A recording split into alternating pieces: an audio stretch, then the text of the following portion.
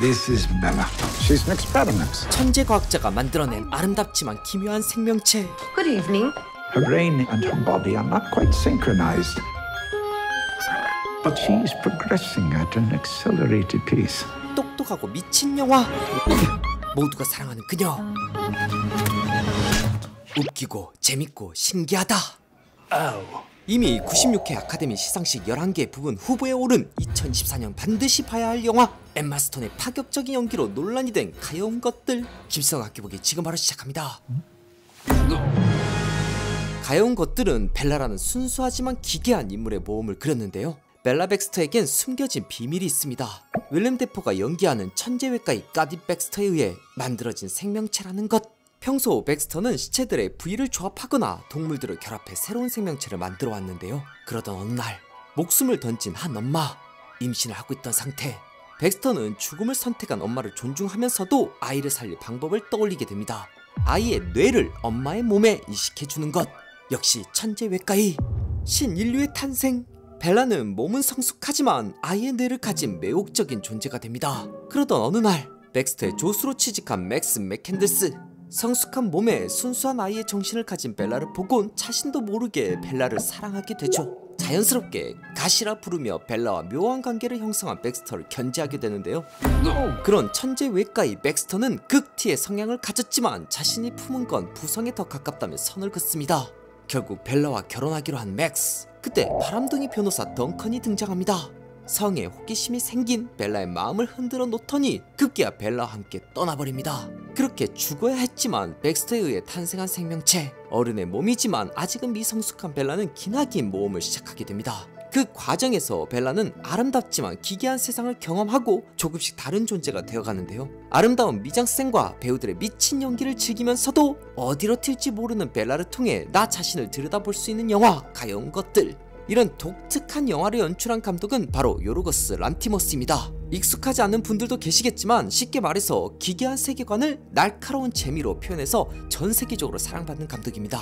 삼남매를 외부로부터 단절시킨 채 키운 아버지의 이야기 송곳니 짝을 찾지 못하면 동물로 살아가야 하는 이야기 더 랍스터 믿기 힘든 신화를 현대판으로 치환한 킬링디어 요르고스 란티모스는 인간의 깊은 내면을 꺼내서 새로운 방식으로 영화를 표현해내는데요.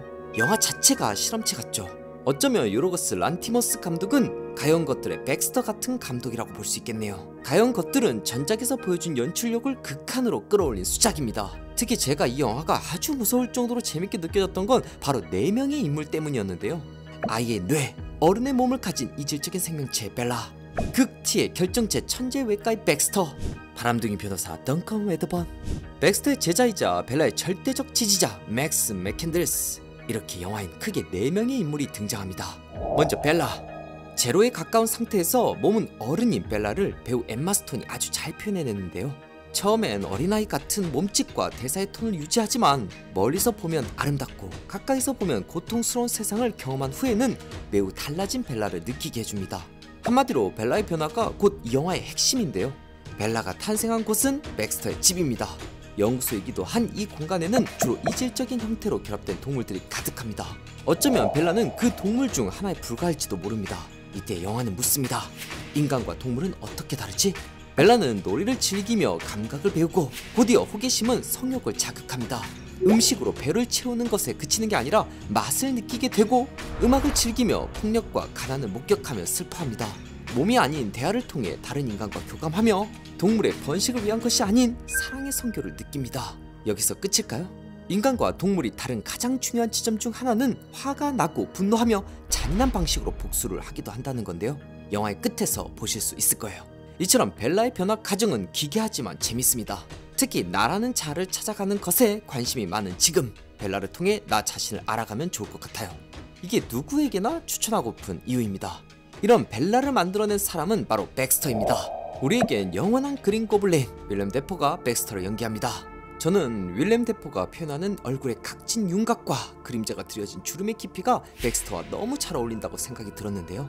백스터 뛰어난 외과의로 신체를 분리하고 붙이는 기술로 뛰어난 생명체를 만드는 사람인데요. 매우 자극적인 인물인데 우리가 파고들 것은 왜 이런 일을 하는가입니다. 벨라가 그를 가시라 부르고 얼굴의 왼쪽 부분에 그어진 선이 십자가처럼 보이기 때문에 창조주처럼 느껴지기도 하지만 실상 그를 알게 되면 그는 또 다른 벨라이기도 합니다. 백스터는 벨라를 실험체라 부르는데 백스터의 아버지 역시 그를 실험체처럼 여겼고 그로 인해 백스터의 몸은 많은 부분이 훼손된 상태입니다. 중요한 건 이를 대수롭지 않게 생각하죠. 즉 백스터가 실험체를 만드는 건 아버지의 가업을 이어가는 동시에 실패한 실험체인 자신을 능가하는 생명체를 벨라를 통해 극복하고 싶은 욕망이 숨겨져 있습니다. 결론적으로 백스터는 아버지로부터 독립하지 못한 존재지만 벨라는 성장 과정을 통해 엄마로부터 독립하게 됩니다. 동시에 둘은 피 한 방울 섞이지 않았지만 양육이라는 과정을 통해 가족이 됩니다. 이는 동물과 인간이 다른 것 중 하나죠. 백스터라는 인물의 변화를 꼭 영화에서 보시길 추천드립니다. 벨라의 마음을 흔들어 놓는 덩컨은 아이러니하게도 마크 러팔로가 연기합니다. 생각해보면 헐크로 익숙한 마크 러팔로는 많은 관객에게 친근한 이미지로 익숙해진 배우인데요. 이번엔 180도 확 틀어서 불순한 바람둥이 덩컨으로 돌아왔습니다. 덩컨은 장난스럽지만 어쩌면 벨라의 어린 마음을 잘 이용하는 천부적인 능력을 가지기도 했는데요. 영화에선 벨라를 연기하는 엠마 스톤과 마크 러팔로의 연기합이 너무 좋아서 코믹한 장면들이 아주 맛깔나게 표현됩니다. 재밌어요. 더 나아가서 덩컨의 찐 재미는 바로 처음엔 벨라를 흔들었다가 정작 나중엔 본인이 흔들리게 된다는 점에 있습니다. 덩컨의 변화도 놓치지 마세요. 벨라에게 첫눈에 반해버린 맥스는 매우 독특한 인물인데요. 순수할 수밖에 없었던 벨라가 다양한 경험을 하면서 성숙해지는 것과 달리 맥스는 변하지 않는 마음을 간직한 오히려 벨라보다 순수한 인물로 그려집니다. 인간과 동물이 다른 가장 큰 지점 중 하나 사랑 맥스는 그것을 대표하는 인물로 등장한 것이죠. 그래서 가여운 것들을 보면서 맥스가 어떤 선택을 하며 기다리는지도 주요 관람 포인트가 됩니다. 자 이렇게 4명의 인물을 통해서 가여운 것들의 흥미로운 지점을 살펴봤는데요. 그것 외에도 볼거리가 가득한 영화이기도 합니다. 이 영화는 벨라가 몸을 떠나면서 경험하게 되는 장소 리스본, 바다에 떠있는 배, 알렉산드리아, 파리, 런던까지 다양한 장소가 가진 아름다움을 신비롭게 그려냅니다. 30분은 걸어야만 하는 거대한 세트장을 짓고 벨라가 경험하는 장소의 디테일을 표현해내는데요. 극장에서 보시면 상상 이상으로 더 만족스러우실 거예요. 중요한 것은 벨라의 시선으로 장소를 바라보거나 관객들이 벨라를 지켜볼 수 있게 합니다. 그 독특한 시선을 놓치지 마세요. 추가로 엠마 스톤이 장소에 따라 다르게 입는 의상도 매우 다채로운데요. 의상 제작에만 총 40명의 인력이 투입된 만큼 벨라라는 인물의 내면이 의상을 통해 어떻게 표현되는지도 느끼시면 좋을 것 같아요.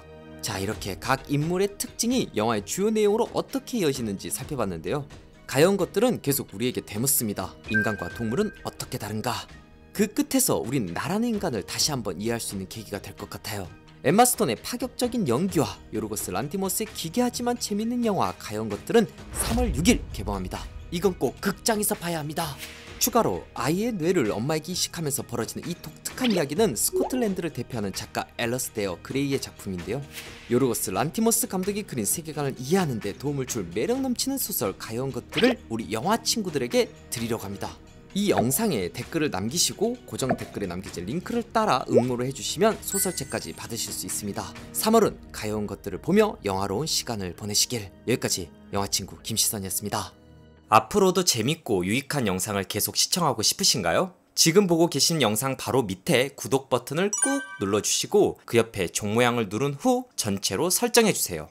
여러분의 마음 하나하나가 김시선 채널을 지속하는 가장 큰 힘이 됩니다. 항상 고민하고 노력하겠습니다.